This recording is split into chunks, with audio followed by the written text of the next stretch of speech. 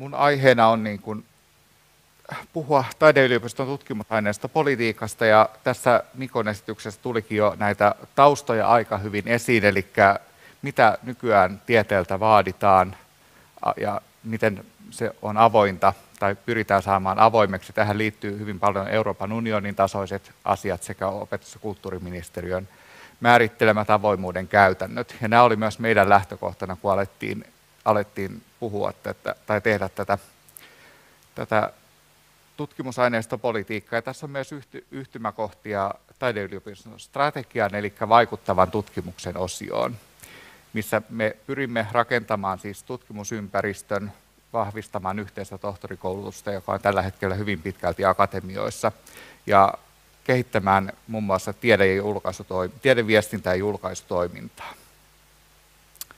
Ja tämä sai taideyliopiston johtoryhmän puollon keväällä 2015, ja sen tehtävänä oli laatia tämä ehdotus, miten tämä tutkimusdatapolitiikka toteutetaan ja jalkautetaan taideyliopistossa.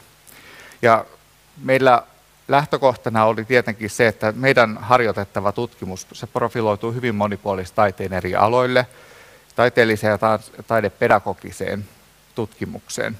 Meillä on myös painopisteinä määritelty musiikin historia, taiteellinen tutkimus ja taidekasvatus. Ja nämä olivat niin ne pohja, pohja-asiat, mitkä tässä vaikutti. Ja tokihan meillä on myöskin musiikin, teatterin, tanssin ja muiden esittävien taiteiden alalla. Tehdään jatkuvaa kehittämistyötä. Lyhyesti tästä meidän työryhmän työskentelystä. Täällä on mukana monia, jotka osallistuivat tähän työryhmään. Meillä oli kaiken kaikkiaan seitsemän kokousta yhden lukuvuoden aikana. Ja toimin siinä puheenjohtajana ja Katja Kiviharju oli meidän erittäin ansiokas sihteeri, joka kokosi näitä asioita yhteen. Ja tähän siis otettiin mukaan kirjaston, lakimiespalveluiden, asiakirjahallinnoiden, IT-palveluiden ja tutkimushallinnon edustajia. Ja myöskin yhdessä vaiheessa pyysimme ihan muutamia tutkijoita käymään ja keskustelemaan siitä, että millä tavoin, mihin me ollaan menossa tässä ja minkälaisia vaatimuksia heillä olisi tähän tutkimusaineistopolitiikkaan. Taideyliopiston kontekstissa tutkimusaineisto on, päädyttiin siihen, että se on paljon parempi termi kuin tutkimusdata, koska tämä meillä tämä aineisto voi olla niin moninaista, se voi olla aineetonta, kuten tästä on aikaisemminkin tänään jo todettu. Ja koska meillä oli hyvin rajattu tämä aika, missä vai, tämä piti saada valmiiksi, niin päädyimme käsittelemään vain digitaalista aineistoa. Ja suuri osa meidän tuotettavasta tutkimusaineistosta taideyliopistossa on kuitenkin vielä ei-digitaalista, mutta koska tämä aikarajaus oli, niin päädyimme määrittelemään tällä hetkellä vain tämän digitaalisen osion. Ja sitten meillä oli väliraportti ja lausuntokierros, joka toimitettiin taideyliopiston johtoryhmän ja akatemioiden toimielimiin maaliskuussa ja rehtori hyväksyy tämän tutkimusaineistopolitiikan kesäkuussa 2016. Tämä tutkimusaineiston käsite taideyliopistossa on hyvin moninainen. Siinä on ihan tässä perusjuttuja, mitkä koskee varmaan yleensäkin tutkimusaineiston käsitettä, mutta meillä on erityisen tärkeää tämä painopiste, että se voi olla myös aineetonta, tämä materiaali. Ja sen takia myös tämä aineettoman aineiston osioon täytyy lisätä nämä kuvailutiedot, eli metadatatiedot. Ja tämä metadata tulee aina tallentaa siis tutkimusaineistojen yhteydessä. Ja tämä meidän varsinainen politiikkahan on siis, se on politiikkapaperi, se on kaksi A4 ja löytyy nyt jo meidän viikonlopun jälkeen meidän nettisivuilta. Ja siellä on myöskin tämä toteuttamissuunnitelma, mikä siis ohjaa tätä, tätä varsinaista politiikkapaperia. Ja tämä toteuttamissuunnitelma on siis aina keskeneräinen, se päivittyy. Se, mikä siellä tällä hetkellä on, kuvaa kesäkuun 2016 tilannetta.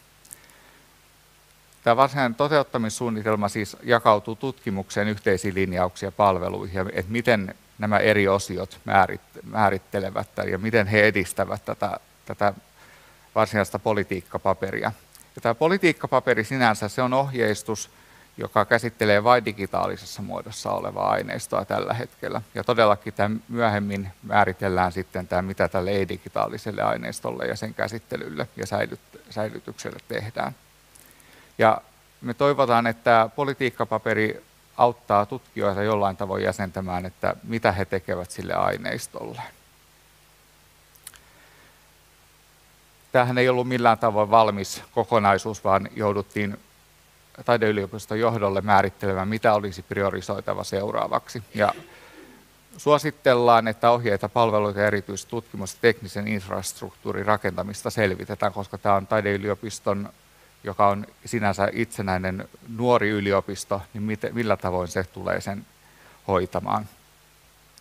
Ja myöskin, että minkälainen toimintakulttuuri ja tutkimusinfrastruktuuri kehitetään taideyliopistoon.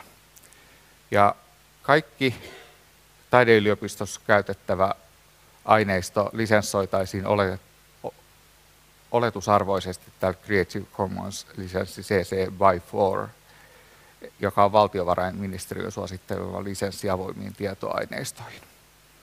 Tämä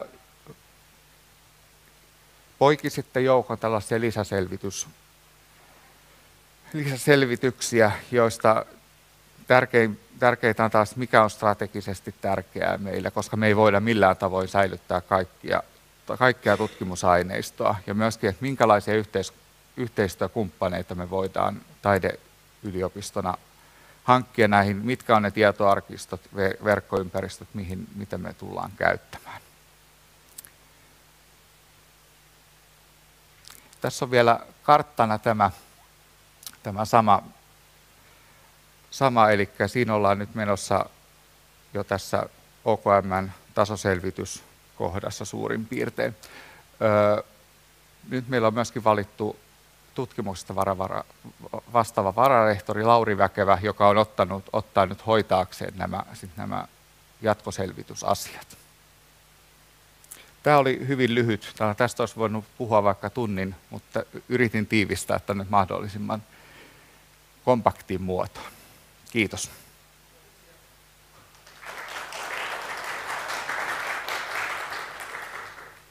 Kaksi kättä nousi ylös, eli ensimmäinen kysymys, ole hyvä, ja sitten Marjalla toinen. Joo, kiitos näistä hyvistä esityksistä. Juha Henriksson musiikkiarkisto Japasta tuossa kun tosiaan avoimen tieteen oletusarvoisesti suositaan tätä CC 4.0 by, niin on hirveän tärkeää tiedostaa, mitä se tarkoittaa. Eli se tarkoittaa paitsi, että se data on julkista, myöskin se, että se on muokattavissa vapaasti ja hyödynnettävissä myös kaupallisesti. Ja nämä on aika isoja vaatimuksia. Sen takia minusta olisi hirveän tärkeää se, että vaikka meillä on nämä DMP-tuulit ja meillä on kaikki tämä ohjeistus, niin joku miettii tutkimusta ja miettii sitä aineistoa, niin siinä vaiheessa ja miettii sitä, että olisiko se aineisto mahdollista kerätä sillä tavalla, että se olisi oikeasti avattavissa.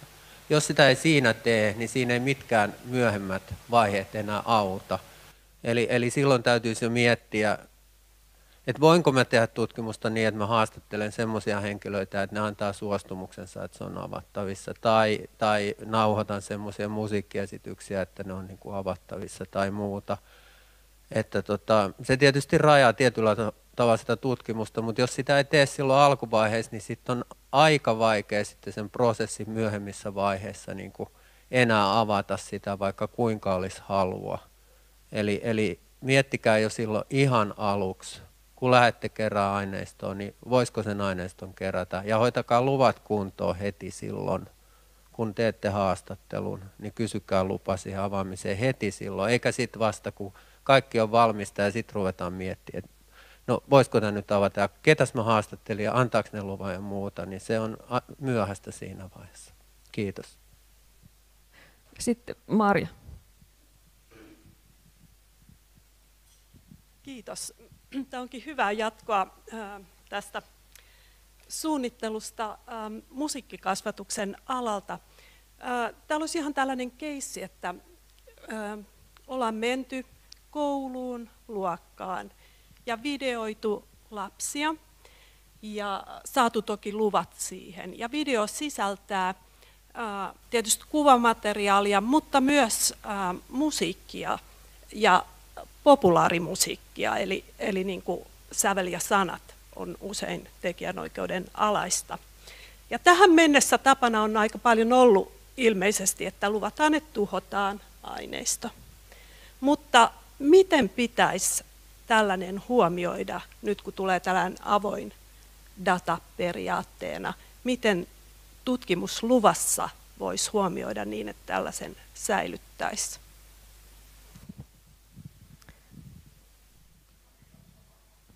vastata lakimiehenä tähän.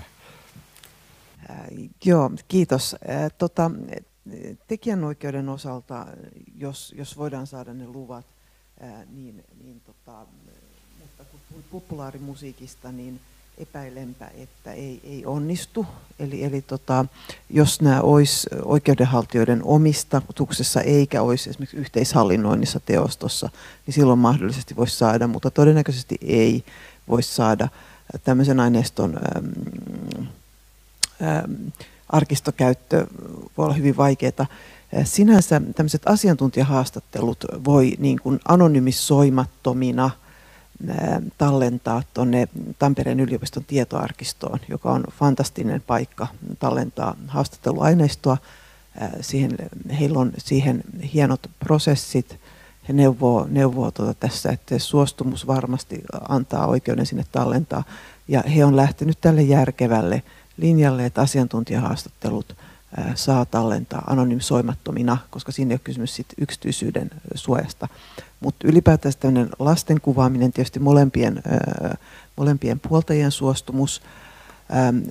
Sitten tämä tietoarkisto, joka muuten on tämmöisissä haastattelututkimuksissa fantastinen, niin he ei taas ota videota vastaan. Eli tästä tullaan niin kuin sit tämmöiseen ongelmaan, että, että ehkä niin kuin tässä kun on ATT-hanke ja OKM, niin tämän tietoarkiston kehittäminen niin, että video on niin keskeinen tota, mm, muoto informaatiolle meidän yhteiskunnassa, että, että tietoarkisto on, on niin kuin se meidän pelastusrengas ja todella tärkeä, todella tärkeä työtä tekevät. Siellä on 24 ihmistä töissä, että sieltä tutkijat saa ihan kädestä pitäen tai puhelimessa niin kuin todella hyvää neuvontaa mutta sitä tietoarkistoa pitäisi kehittää niin, että sinne voisi vois myös tätä videomateriaalia laittaa, mutta silti luulen, että nyt heitit kyllä niin, niin haasteellisen, että avoimen tieteen osalta täytyy vain todeta, että avoimen, avoimeksi näitä materiaaleja ei saa, piste. Sen verran voisin omaa arkistoini tässä mainistaa, että musiikkiarkisto Japa kyllä arkistoi myöskin videoaineistoja. Mehän ollaan nyt niin kuin kansallisarkisto ja yksityisten keskusarkistojen yhteisessä hankintapolitiikassa niin kuin fokusoitu siihen, että me tallennetaan niin kuin musiikkiin ja myöskin musiikin tutkimukseen liittyvää aineistoa Suomessa. että meillä on, on äänitteitä, mutta myöskin videoita, mutta sitten tietysti se avaaminen on toinen asia, että sitten pitäisi kaikki luvat olla – kunnossa, mutta me ollaan nyt avattu meidän esimerkiksi musiikin tutkimuksen seminaaritallenteita YouTuben kautta, koska niissä on niin kuin luvat kunnossa. Mutta joo, kiitos. Onko vielä kommentteja, kysymyksiä, keskustelun avausta?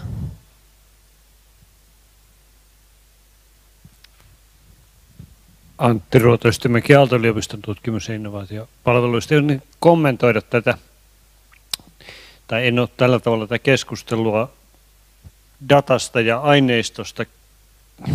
Se ei, ei ole mulle niin, niin tuttua, mutta tavallaan se, että alalla kun alalla haastattelututkimuksia tai mittaustuloksia, mitä tahansa kerätään, niin jotenkin se avoimuuden taso, että mitä aineistoa kerätään ja talletetaan ja mitä aineistoa julkaistaan. Ja nimenomaan niin, että ää, kyse on ennen kaikkea aineiston hallinnasta, niin että se aineisto on yliopiston, sen aineiston omistajan, datan tai aineiston omistajan eli yliopiston saatavilla myös sen jälkeen, kun se, kun se aineiston tai datan kerännyt tutkija lähtee sieltä, ja että se on myös hänen itsensä saatavilla – ja tämmöiset tietovarastothan ei sinänsä vielä edellytä sitä, että ne aineistot avataan, ne voidaan pitää vaikka tutkijaryhmän sisäisinä, tai sitten ne voidaan avata pyynnöstä, tai ne voidaan tehdä esimerkiksi CC-lisenssillä avoimiksi,